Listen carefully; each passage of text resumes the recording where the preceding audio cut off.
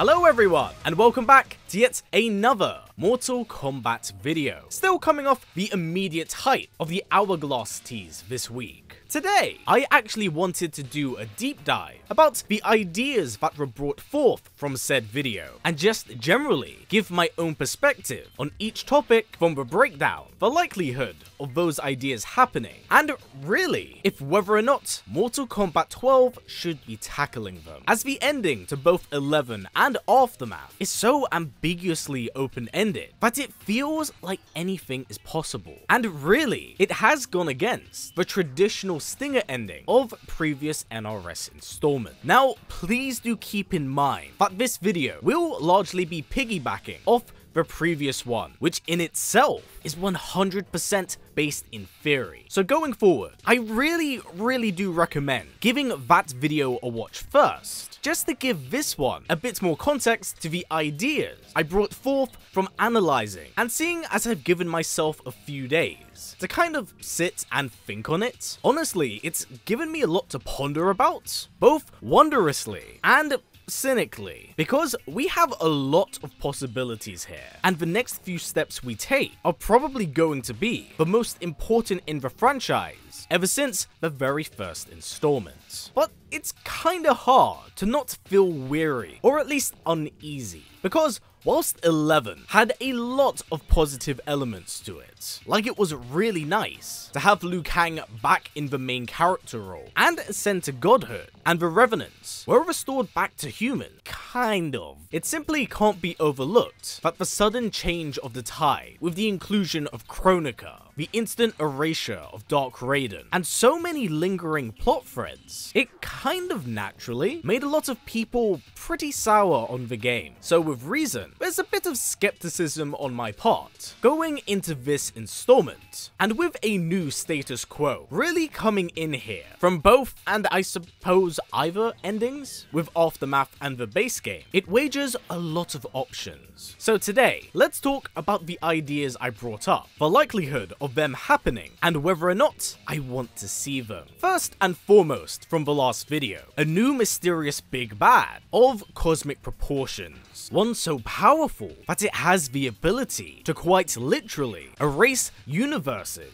and complete timelines out of existence. But again, this is all under the assumption that each grain is symbolically supposed to be a universe. On paper, this all does sound pretty cool, and we naturally know that with each Mortal Kombat game, we are getting new characters. But do I think this kind of entity works in a universe like Mortal Kombat? I don't really think so. In my opinion, I think Mortal Kombat thrives so, so much more when it's grounded in reality. So its foundation feels relatable, but one based in just enough hyper fantasy and violence that you can enjoy the outrageous nature of it. So again, I think the inclusion of other cosmic level threats might be a bit too much. The only thing, I suppose, that could fit into this, if it was to be explored of course, is that this would probably have to be a titan, and fans aren't entirely too fond of this sudden inclusion. So something like this, back to back, might feel a little bit forced. Personally, I'm not too crazy on cosmic deities. I really don't like the Elder Gods. I think they're fucking useless. But I also know that there are some lines for Mortal Kombat that simply should not be crossed. And the threshold of Elder God onwards is where things get a little bit iffy, especially in the canon. Like there has to be a line before we go, that's pretty stupid, how did we get here? We don't need Chris Redfield levels of like punching a boulder right now, but I think there's enough threats in the present that could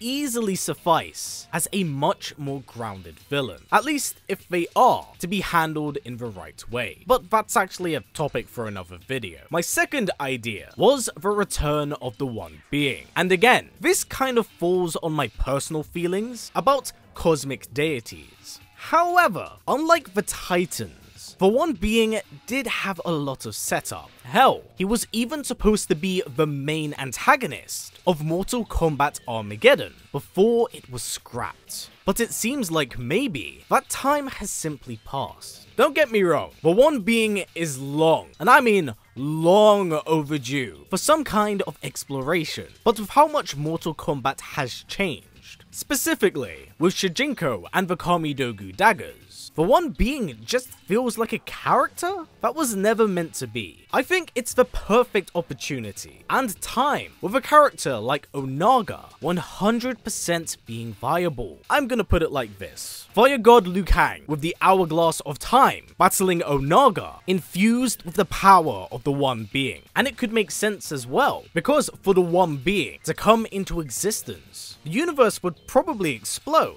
if he was to be defeated by Liu Kang. It's open up to interpretation, but I do feel like we're sitting on a gold mine with this idea. Now onto our third topic, Titans. Again, I'm really on the fence when it comes to the Titans. Do I like their sudden appearance out of nowhere? No, not especially. But if they are to be included, this is a great opportunity to tie in a lot of ideas and explore what the hell are they. Slight tangents, but whilst I'm not a fan of the 3D era, one thing I cannot deny that this era does unfathomably well is building the lore and foundation of the franchise, giving it an origin whilst simultaneously expanding on its roots in more ways than one. This is something the NRS saga has been lacking, maybe being too reliant on the foundation that was laid out before.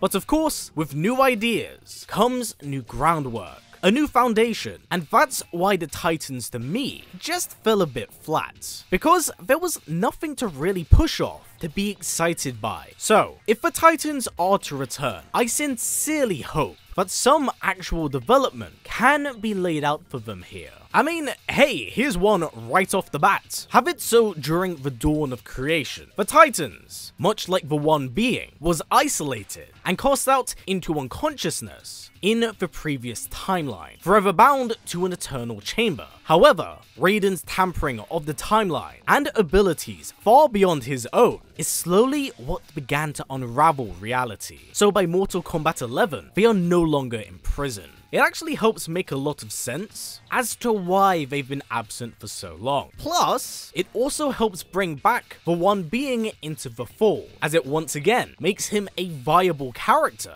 and essentially a volcano that everyone's sitting on. There, in just one setup, I've made the one being and Titan's absence make sense. Where the Titans came from, that's where things can get creative and a bit wild. But that's not for this video. And with the Hourglass having fallen into the hands of Liu Kang, you could set up an interesting premise, where the Titans see this as sacrilege, where upon awakening, a now false god wields incredible power that can rival a Titan, and seeing it as dangerous for a mortal to come so close to wielding not just the power of a god, but a Titan itself, they may want to erase such a threat in this universe. Plus, visually, we actually have seen quite a few of them. So, a part of me definitely does want to see this be explored just out of sheer curiosity. But I'd only ever want this to be touched on if some groundwork is made to supplement it. Our final idea here is the Shang Tsung ending, where upon gaining the Hourglass, the Overseer becomes cosmically aware of the worlds beyond his own, and thus looks to ensure his victory, looking to snuff out